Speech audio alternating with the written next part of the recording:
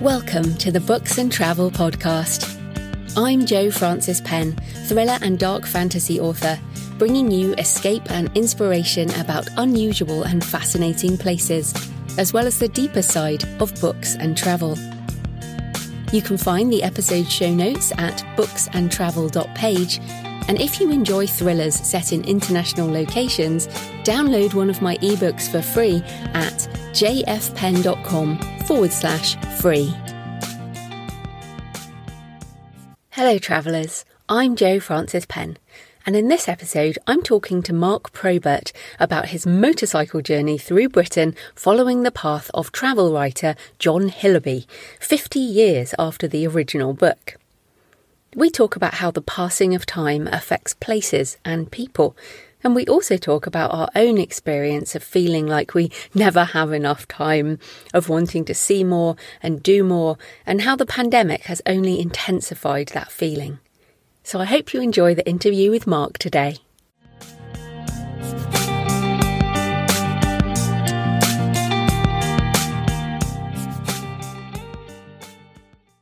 Mark Probert is the author of Another Journey Through Britain about a motorcycle road trip through the back lanes of Great Britain. So, welcome, Mark.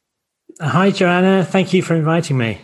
Oh, I'm excited to talk to you today. But before we even get into that bike trip, I want to ask about your previous career because you spent 28 years working for Ordnance Survey as a map maker all over the world. And I'm just, I'm thrilled by that. It just sounds so exciting. So tell us, like, what drew you into that career and, and what were some of the highlights? Well, I was basically very lucky. When I think back, I think my first sort of first time I got hooked into maps was probably going back to my teenage years at school. I, I really loved geography. I loved all those field trips to places like Isle of Purbeck and Yorkshire Dales. And I just love the maps. I think some people's brains just work that way, don't they? Some people uh, work with numbers, and some people work spatially. And I just love I love the maps. And when I first started work, my first full time job, it was actually updating charts, marine charts. Um, that was in Southampton. But as luck would have it, I just saw in the in the newspaper one evening that Ordnance Survey was advertising for surveyors and I applied and things just fell into place. And I spent 28 years with Ordnance. The first half of that was as a land surveyor, and I worked up and down the country, literally from Land's End to John O'Groats, updating the various scales of mapping. Then I uh, I left the surveyor, surveying side of it and I went into the R and D section. And this is back in the 80s. It's quite a long time ago now. And it was the early days of digital mapping. And it was very, very exciting stuff in those days. I mean, we all take it for granted now because we just look at all this digital mapping and aerial photography on our phones now, and everybody's got access to it. But uh, back in those days, it was pretty groundbreaking stuff. And then I moved into the marketing section for a while. And then I moved into the international section. And I had my first couple of jobs one was in Latvia, one was in Croatia and I was pretty hooked on on that overseas work by then. And then I was really lucky to have a couple of years or two and a half years working in Paris. And then uh, I left Ordnance Survey in 2003 and set up my own company and carried on working abroad. And my sort of sphere of work was first of all Eastern Europe, and then it gradually went further east, went out to places like Azerbaijan and Mongolia. And then there was a period where it was all Africa, places like Zanzibar, Ghana, Rwanda, Senegal. Um, and then in 2016, I joined the World Bank and took on a whole new load of countries then and actually got out to South America for the first time and had a couple of jobs in in Colombia. So that was great fun as well. And then 2018, 2019, I started to go into a sort of semi retirement period where I started slowing down and picking the jobs I wanted to and spending a bit more time at home. And then last year, when the pandemic came along, I thought, well, that's that's probably the sign I I need, and uh, I gave up and, and became fully retired. And um, settled down to picking up on that jobs list of my my wife that I managed to avoid for so many years. Absolutely. And I do find the maps so interesting. Like you said, um, when you started and all that, there, there, weren't the online maps, but I still use the paper maps, the OS paper maps to do some of my planning. And I find it just almost magical the way there are these symbols on a, a piece of paper that match the real world in some way, but in a way it doesn't. It's not the same experience looking yeah. at a map as it is yeah. to walk across the same path in real life. So I wonder, do, do you think, I mean, you said at the beginning there that some brains love maps, but do you think the maps change your brain? Like, do you see the world differently when you look at a map? Can you almost visualize the reality or is it quite different? Yeah.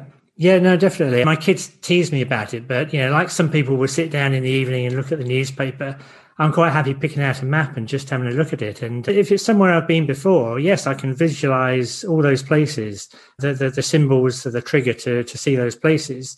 If it's not somewhere I've been before, I can I can sort of get a, an idea, a pretty good idea of, of, the lay of the land, particularly from the contours, from the from the uh, see the height and the, the hills, that sort of thing.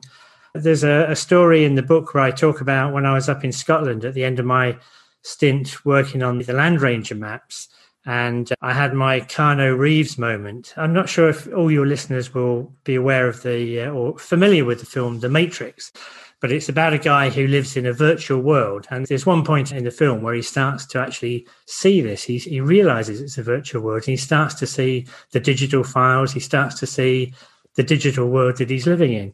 And uh, I had my Keanu Reeves, the, the, the, main character in The Matrix, I had my Keanu Reeves moment up in Scotland I was coming back on the train from Inverness to uh, Edinburgh, and I was staring out the window and daydreaming away. I was sort of, uh, truth be told, I was probably nodding off, but I was in that sort of uh, strange, sort of uh, semi-conscious, semi-conscious period. And all of it, well, for about two or three seconds, I literally saw the world outside the train, the world going past as a 50 thou Landranger map. So all the I saw the the pylon lines, the symbols. I saw the the train line. I saw uh, you know the, the woodland with the symbols, and it was just bizarre. And I sort of shook my head and said, "Whoa, whoa, this is crazy."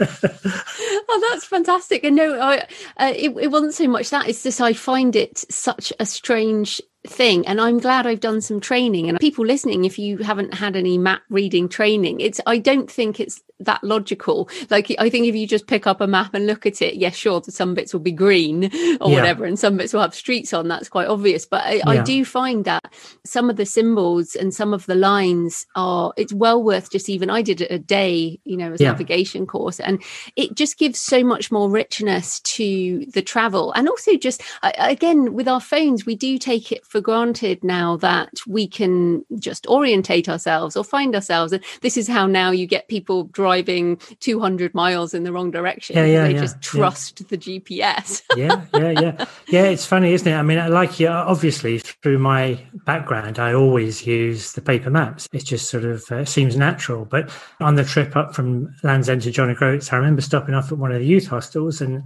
and talking to the guy there, the, the, the warden, about maps and he said, because uh, I was expecting to see a whole bookcase of, of maps.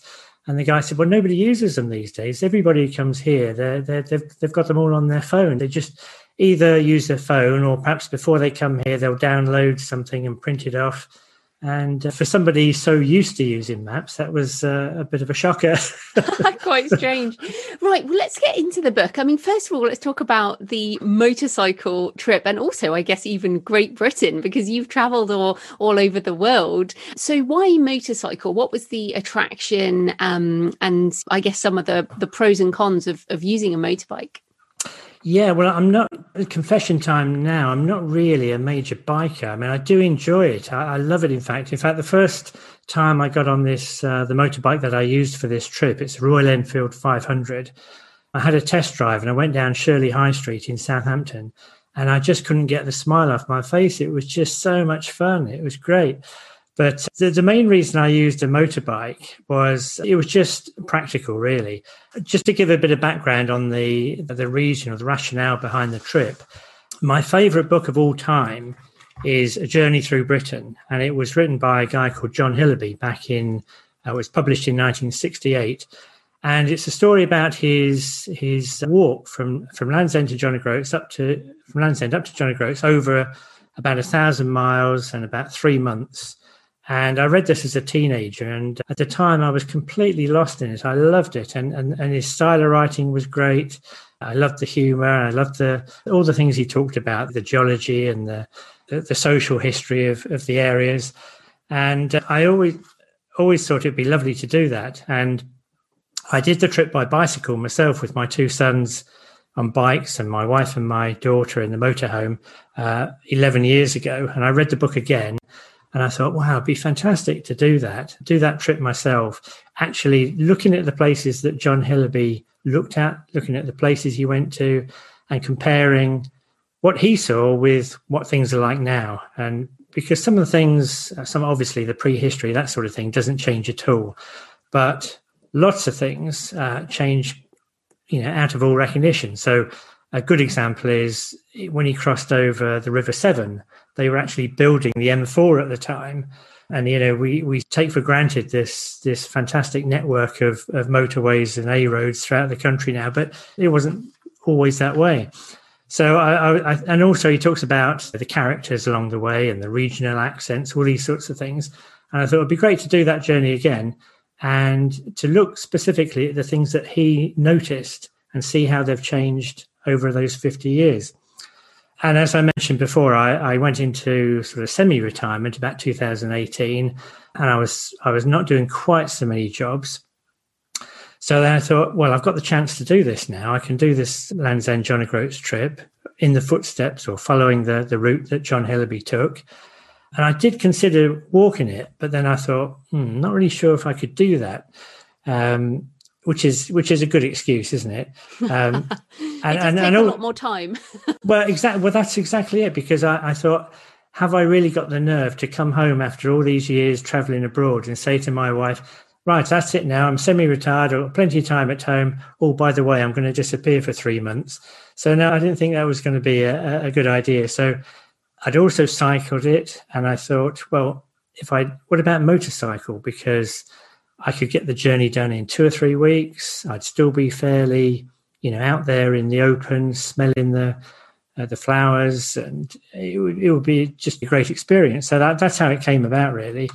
And so, what what are I mean? Because I don't ride motorbikes. My husband does, though, and we we recently watched the Ewan McGregor series. Oh yeah, you know, yeah, long yeah. way up yeah. and down and round and all of that.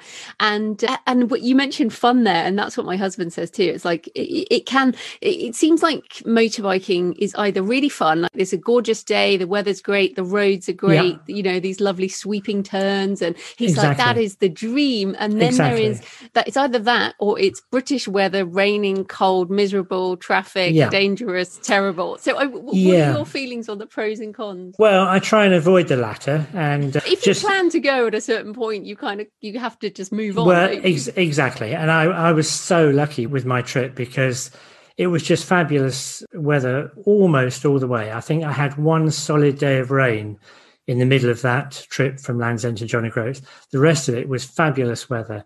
I was so, so lucky. And then one day that it really chucked it down, I was within striking distance of home. I was, which is Oswestry in Shropshire. So I just came home. I spent the night at home and then carried on again. So it just, I was exceptionally lucky. And if you get that sort of weather, parts of this country are just unbeatable. You know, the, the scenery of Cornwall and Devon and the Peak District, Yorkshire Dales, the Scottish Highlands. If you get the weather right, I mean, you don't need to go anywhere else. It's just, it's just amazing. Mm. So, give us some specifics. Like, what were some of the highlights?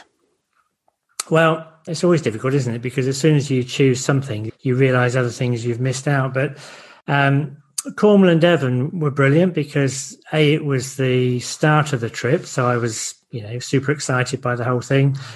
As I mentioned, the weather was amazing.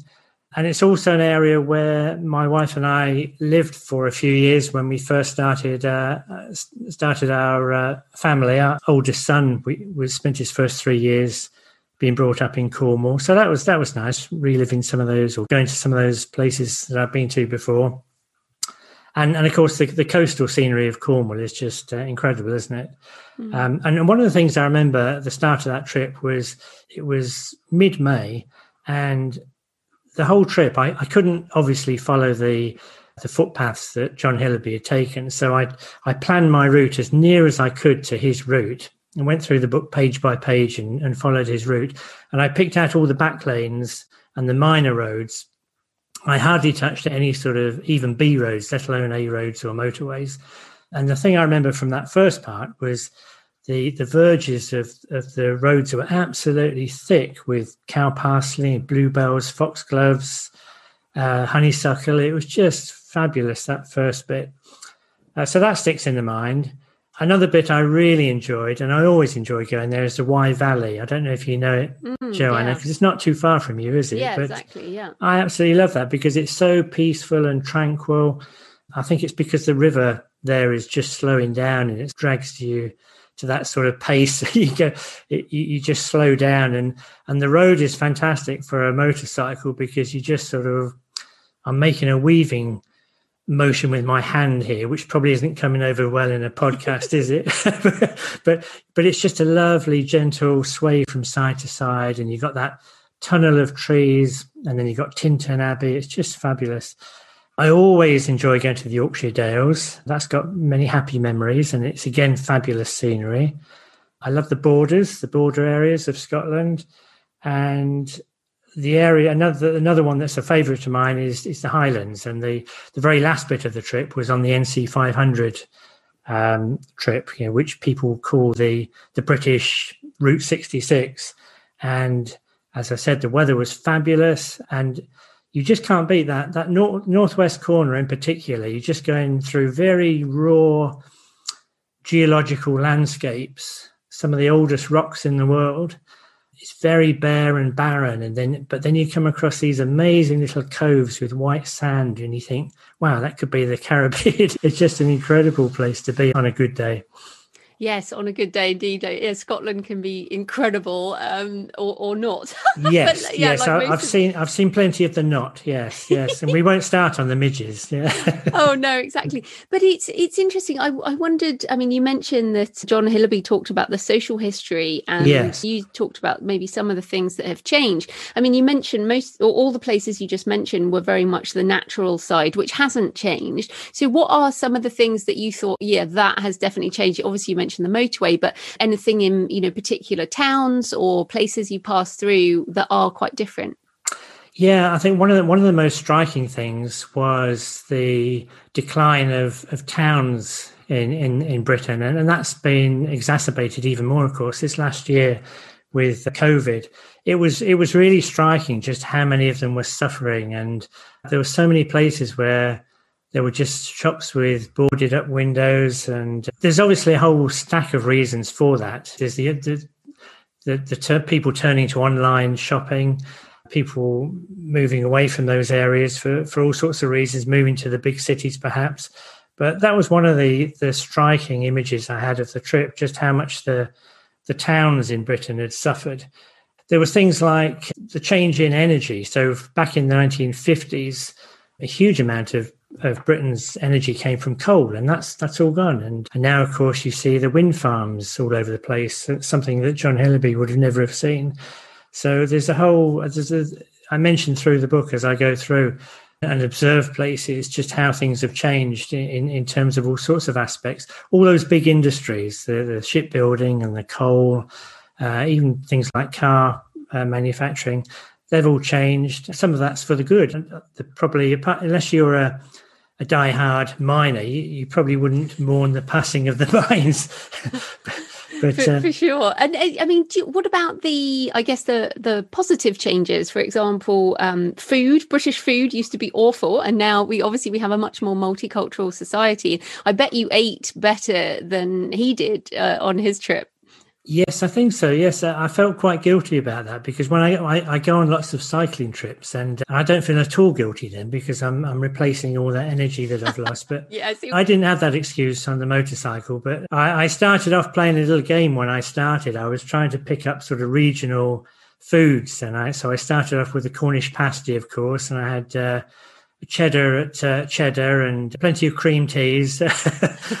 and I tried to change my diet as I worked my way up the country to keep it appropriate to the area. I think I think that's awesome. Curry in Birmingham, that would be ah, exactly. Yeah, Bradford. no, that's great. So, what were some of the challenges um, or difficulties that you faced along the way? I was very lucky, really. I didn't have that many challenges. I had one major hiccup uh, when I had a puncture in cheddar but you know, in hindsight, even that was good because it gave me some great uh, things to talk about, so to write about in the book. It was quite an interesting little adventure in itself. The only the only downside to that was I had planned to be camping in the Wye Valley that night, and instead of camping in the Wye Valley, I ended up in a travel lodge in Taunton on the Taunton bypass. So not quite the same sort of magic, but uh, it did have an interesting aspect to it in the way the the, the, the way the story panned out. I, I think one of the things was one of the challenges is I, planned it very well. I'm a, I'm a super uh, bit of an OCD planner, and I, I, I planned it to, the, to into great detail, but leaving myself a bit of leeway if I needed to change things. But I realized that I was always wishing I had more time. Wherever I went to, I was always thinking, oh, if only I had more time here, I should have built in more time for this. But you know, on the other hand, I really wanted to to make progress and see other things, and I think that's I think that's just in my nature. I'm always trying to move on and see other things, and you can't have it both ways, can you? You can't do that and and spend a long time and get absorbed in a place. Mm. Well, it's interesting because I had just written down there the passing of time question mark before, just before you said that, and I was also thinking there. I mean, obviously that original book was in the fifties. You mentioned cycling this eleven years ago with your yeah. um, children, and of course now, as you said, you're retired. There's a passing of time in your life as well as yeah. the passing of time in in these books, and so to me that that is an a, almost an emotional challenge, which is we're facing facing this memento mori, remember you will die. And if only mm. I had mm. more time, is one of those things, you know, as mm. I'm 46, when am I 46? And I'm thinking the, the same thing. If only I had more time to do all the things I want to do. Um, so w- was there that element of uh, emotional challenge as, as you you're in retirement and you're doing these things, and also some of these are very physical things that you're doing, and is that an awareness you have of the passing of time? Yeah, a little bit. I don't think I really noticed it on the uh, another journey through Britain, but uh, I am conscious of it, and I'm conscious that I've got so many places I still want to go, so many journeys I still want to do. And none of us know, do we, just how long we've got? And I, I, tr- I do deliberately try and keep myself fit and healthy, and and I still like cycling. I still do an awful lot of walking, and when I go on these trips, uh, I like to to do them. Well, well, the, the India. I went on a, a trip to India last year, and you might say, well, there's a there's a. I went with a, a friend of mine who's also in his sixties, and and on the face of it, that sounds well. There's a couple of old fellas trying to get their way from coast to coast in India over five weeks. That you'd think they'd choose a nice, easy way of doing that, but we we didn't. We did it in a very we we chose just about every method of transport you could think of, and and try to have as many experiences as possible, and, and like the third third class travel on Indian Rail is a huge experience. I can tell you. I don't know if you've done it, Joanna. no, I, I, have been on Indian Railway, but I went in the first class. but it, but it was, but we, but I was happy just to push myself into these things, and we we had a, a camel ride through the desert. slept in the desert overnight, and I, I just love doing all these things, all these experiences. But you're right. You know, I look ahead and I think. I've got these various trips lined up that I'd like to do and I just think, well, I've got to get on with it. yeah, exactly. And we just don't know. But then I guess that's interesting because, of course, the trip in India takes quite a different type of planning to motorcycling through yes. through Britain. But if people, I mean, obviously you're British, we're we're British. If people, you know, people from other countries are listening and might want to come and do such a trip, given that you were planning it as a Brit, any tips for planning a, a trip like that through Britain? Well, I mean, a lot of the planning that I was doing was was dictated by John Hillaby's book. So I was following his route, and what I did was I, I, I just looked at his route and I looked at the places where I could practically go on a motorbike because I obviously couldn't follow all the paths he took. And then I did lots of um, internet research on those those places and and made lots of notes about places to go. I didn't book up my accommodation the whole way. I just booked up maybe three or four nights in advance, but I had a route that I wanted to follow. I knew the sort of locations I'd be staying in most nights, and I throughout the uh, the book, what I tried to do was to keep three strands going. Right, so I wrote about my trip, I, you know, but I didn't want to do it as a just a boring. I started here, then I went there, and then I went there, and then I went there. I mean, I, I did I did that as part of the the book, but then I also put in lots of descriptions about the places, the people I met, some of the history of those places. And then the third strand I tried to weave into that was the John Hillaby part of it, you know, what he had experienced in those places and what I found along the way. So, yeah, it was uber planned to some extent, but there was an element of flexibility in there. So, for example, when I had the puncture, I was able to stay overnight in, in Taunton, which was 25 miles from where I'd started my day's travel. John Hillaby, John Hillaby probably would have walked further than that. But, but because I was on a motorbike, I was able to make up the ground the next day, and that gave me a bit of flexibility that um, I probably wouldn't have had if I was if I was walking. And I mean, obviously, you've mentioned there that you've got lots of trips planned and lots of things you want to do. But has the pandemic changed your opinion on travel at all? Are we going to go back to how we used to do things? To what do you think will change? Well, my, my appetite for travel certainly hasn't changed. I mean, every Sunday when I look at the travel pages in the papers, I just think, wow, I want to go there. And when I listen to your podcasts, I think, Me too.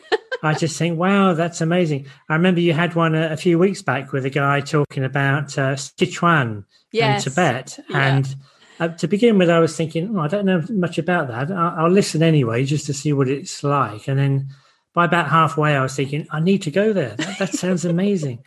And, and you had somebody on, you had Katerina on talking about Vienna, didn't you? Yes, uh, absolutely. I'm going to Vienna oh, once I can, once we yeah. are. But it's funny, I feel the same way. I feel like I don't want to change the way I want to travel. But then I guess I've always been someone who is, is tries to be respectful in my travel. Yes. I think a lot of the stuff about mindless travel, that might change. But you and people listening, and I think, you know, the guests on this show, I think we're all pretty mindful about our travel yes. anyway. Yes, yes, yeah. So, so my appetite's certainly not changed. I mean, practically, we haven't been able to do it, have we? Mm. So, I've I've done lots and lots of walking. We're very fortunate be, because we live in some beautiful Shropshire countryside, and I've just explored all the lanes around here. I've just been everywhere around within a sort of, I don't know, five seven mile range of here, and I've just been out pretty much every day walking. I, I've, I've done over well nearly 400 miles i'd say this year just walking around the lanes around here just getting out every day. So i mean even that is fantastic because you get out into the nature and you see the changing seasons. And even though we've had our wings clipped in terms of going abroad there's there's still things you can do. You can still get out there and do things can't you? Mm. yeah and i feel like maybe we i don't know if i did take it for granted but i think that i'm going to be even more grateful when we are back out in the world and i don't want yeah. to forget this period i feel like it's very important that we remember how it felt to not be able to travel you know i, I agree mean? i absolutely i think we did take it for, well i think i know i took it for granted because it was my it was my job for many years and i would just mm. jump on a plane and go somewhere halfway around the world and I'll be working there for two or three weeks, and I'd just jump on a plane and come back again. It was just a way of life, and you just take that for granted. And I mean, I was very lucky in a way that the pandemic came at a time when I was packing up work anyway. I mean, if I was in the middle of my career and that happened, you know, I might see things differently, but it, it wasn't such a, a, tough thing for me. It, you know, if anything, it was in some ways a good thing because it made me say, right, I'm going to stop now and move on to the next chapter. And then just uh, while you were doing the trip, so obviously you're on a motorbike, your hands are on on the handlebars, and you're yep. you're concentrating. So how did you record it in order to write the book? Were you writing a journal in the evening, or did you stop to take photos, or how did you actually log the trip as you did it? Yeah, but well, bits of all of that. I had I was actually writing a blog along the way. I mentioned that my um, my family did the Land's End John O'Groats bike ride back in in 2010. And for the few years after that, my two sons and I did some other very long distance uh, bike rides. So we went down to Milan one year and cycled back home. Another year we went from end to end in Ireland, and another year we went across the Pyrenees. And each time we did that, the two my two sons would would do a, a film of it, and and they'd write up a, a blog and and report every day on, on our progress. So when I did my Land's End John O'Groats trip, I thought, well, I might not be able to manage all the filming, but at least I can keep a blog. And so I did that and took thousands of pictures. I don't think it's any, any exaggeration to say it was thousands. So at the end of the day, and it was a bit of a pain if I'm if I'm being honest, I would sit down and I would go through the, the day's events, write it up on the blog, write up a few other notes, pick out a few photographs to put on the blog. So I had my diary being built up day by day through that method. And then when it came to write the book, I was able to take out quite a bit of that blog content and put it into Word. And, and it was my starting point. It was sort of framework for the book. And it's interesting because uh, I had, uh, I think it was the last show uh, with Steve on hidden travel, and mm. we're reflecting on whether actually knowing that you're going to report on something, say with photos or a blog post, changes your experience of it. As in, what you're actually doing is curating for an audience almost first. So, how yeah. do you feel about that? Yeah, I heard that. I heard that. And it was really interesting. He was talking about uh, the moments, wasn't he? And and mm. and the photos. And I must admit, I have got a bit sucked into that because I can remember riding along on the bike and then coming around a corner and, and I would say, "Wow, that's an amazing photo. I'm going to have to stop. That would look great in the blog." And I and then I felt guilty about it. I thought, well, I shouldn't be doing that. I should be enjoying the moment. I should be just seeing it for what it is and enjoying it at that time rather than always thinking, well, what's going to make a good photo and, and what's going to come look good in the blog. I think we're all a bit, well, a lot of us are, are guilty of that, aren't we? And, mm. and I, mm. I try and fight against it, but it, it's definitely there. Yeah, and it's funny because I I also swing backwards and forwards, but equally, what uh, so I went to Bristol. I mean, you know Bristol; it's not very far yeah. from where I am in Bath, and the suspension bridge. My mum lives in that area, yeah. and I've seen the suspension bridge many many times. I went to school in Bristol, but what I now try and do, I think, what is almost a good thing is that I try and see it with the eyes of an outsider, which is yes. most of the people looking at my Instagram feed, for example, are not yeah. don't know Bristol, don't know the suspension bridge think that actually that's really interesting. Or like you mentioned the bluebells on a on a, yeah, you know, yeah, a, yeah, sort of side road is interesting to someone who doesn't see bluebells in their area. And so I, in my mind part of our ecosystem of people who love travel is sharing what might be ordinary for us or that we are actually loving and enjoying so that other people can experience that too. So i'm trying i'm seeing it as a positive thing. Yeah. And also yeah. some sometimes the emotional side of stuff side of it doesn't reflect in the photo anyway. So you for example you might be in a beautiful place but you might feel really lonely or just yeah. really sick or something. So I think the emotional, what you're doing in your book is reflecting emotionally on a place, not just with a picture, I guess. Yeah, it's interesting what you say there, Joanna, because I, yeah, most of the days, as I say now, I go out and have a walk around the lanes and, and I'll quite often take a, a photo. I mean, just recently, all the daffodils coming out and the, the spring lambs, it's been amazing. And I'll stick that on Twitter or Instagram without really, you know, thinking of any great purpose. But I, I, take encouragement from what you say, Joanna. If it's giving other people an enjoyment of something that they wouldn't see typically on a day to day basis, that that can only be good. Yeah, exactly. Actually, I've enjoyed your photos too. So thank you, thank you. and I have daffodils. so anyway, um, let's get into the book recommendations. So obviously, you've talked about a journey through Britain uh, yeah. uh, as your sort of number one book. Yeah. But uh, can you recommend a few other books about travel that you love? Yes, the John Hillaby one's a must, isn't it? But what I uh, tried to do when I was working abroad, if I knew I was going to be in a, in a country for I don't know, maybe three or four weeks. I would try and get a book about that country uh, and start reading it before I went, and I'd read a bit while I was there, just to give me a flavour of what it was all about and get me in the swing of, of or you know, the the mood of that country. So I'm going to give you some examples of that. The first one is uh, a book called Independent People by Halldór Laxness. Um, I'm not sure if you're aware of that one, no, Joanna, but it was it's quite an old one. It was it actually won the 1955 uh, Nobel Prize for Literature. If you had to boil it down uh, to its essence, you would say it's about a sheep farmer in Iceland. Uh, but it's it's actually a lot more than that. Of course, it, it's about how this guy sacrifices many other things just to have his independence and bring up his um, family and, and, look after his family and, and look after the sheep. It, you know, on the face of it, it sounds quite a, a limited story, but it's just a brilliant book. And it's quite a hard read. It's very harsh story in places. The, the way of life is extremely harsh, but it's a really interesting read. The second one, I've worked a lot in the Balkans over the years. And one book I read when, when I was out there was called The Bridge Over the Drina. And it's by a guy called Ivo Andrić. I think he's also a Nobel Prize winner, but I don't think it was for this book and it's about a, a, place in Bosnia. It's a little village, uh, maybe a town, and it's about this bridge there over the river. The, the town is called Visegrad, and it's about the life of this this town over 400 years. And it talks about all the comings and goings of the Ottoman Empire, the Austrian-Hungarian influence. So it, it doesn't look at all the.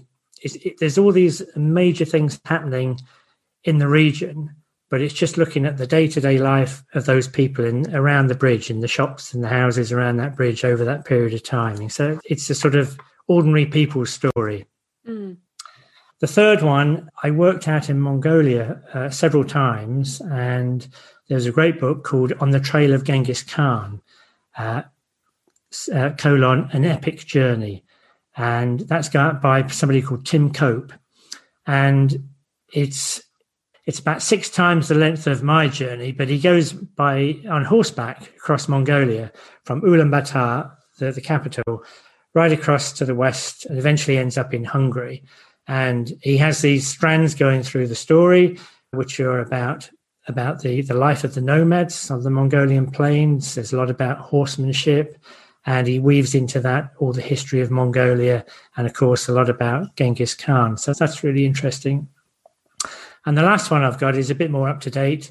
Many people will be aware of this or will have read this, and it's called The Salt Path by Raynor Winn. Mm, oh, I'm glad you mentioned that one. Yes. And it's really interesting. For people who haven't read it yet, it's about a person, it's, a, it's the author and her husband lose their home through no fault of their own.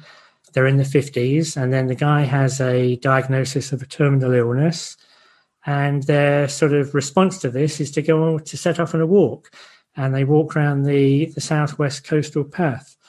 And uh, I can't give any spoilers because I haven't finished it myself yet, but but, uh, but I'm loving it so far.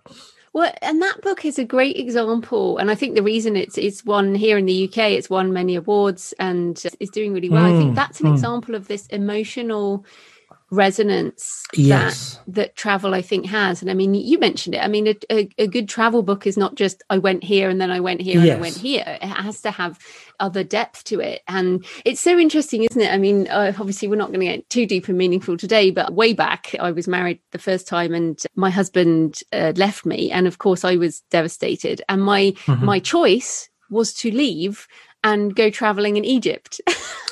well, because, it's the obvious choice, John. Yeah, obviously, because and it's so funny because when you mentioned that, I thought of it about it again because maybe that's something about our character is mm. that travel is obviously we love travel for the experience but i feel mm. like hmm. travel is a is everything it's a way to heal it's a way to mm.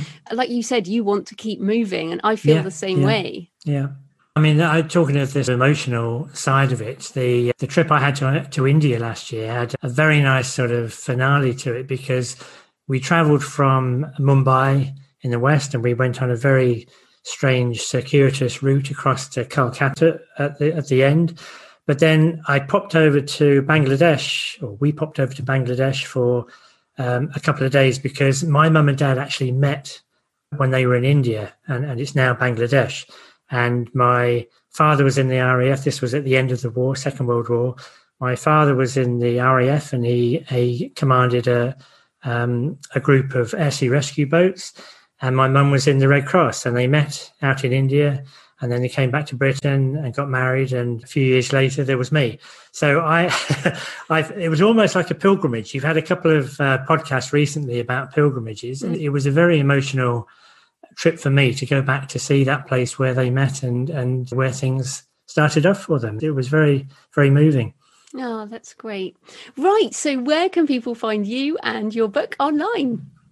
Right. Well, my website is my initials and my name. It's mgprobert.com.